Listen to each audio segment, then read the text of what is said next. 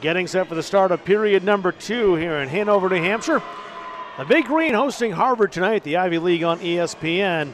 Back once again after a long, long hiatus, and so far so good for the Big Green, despite being outshot 17 7 in that first period. They do have the first goal of the game, Tiffany Hills first from Gabby Billing. And Bloomer has it here. Now it's Petrie. Behind the goal for the wraparound. Save made.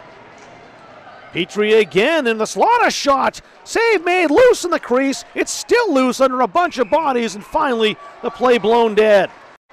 Now back in the defensive zone. Della Rovere up. Gilmore has Bloomer going to goal. To Bloomer. Oh, what a save!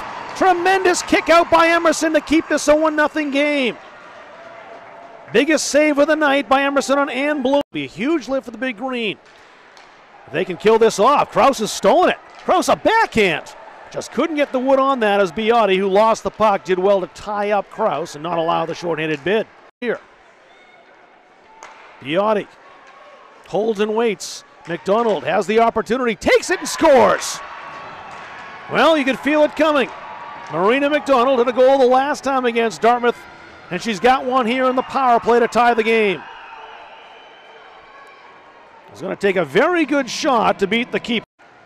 Love to get a goal from her tonight. Now it's broken up by the Crimson just on the ice. Keely Moy who's in. Moy holds, Dekes, scores!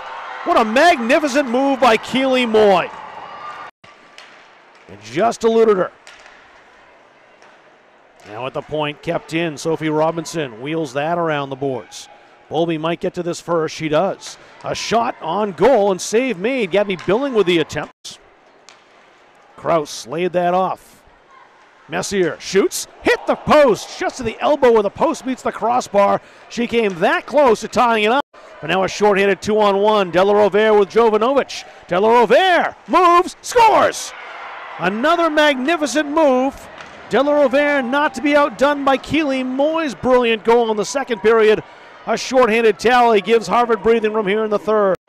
Keely Moy, so dangerous. Lurking, holding, shooting, kicked out, rebound. Another save by Emerson. Loose in the crease, and she's got it covered up. Lost the puck.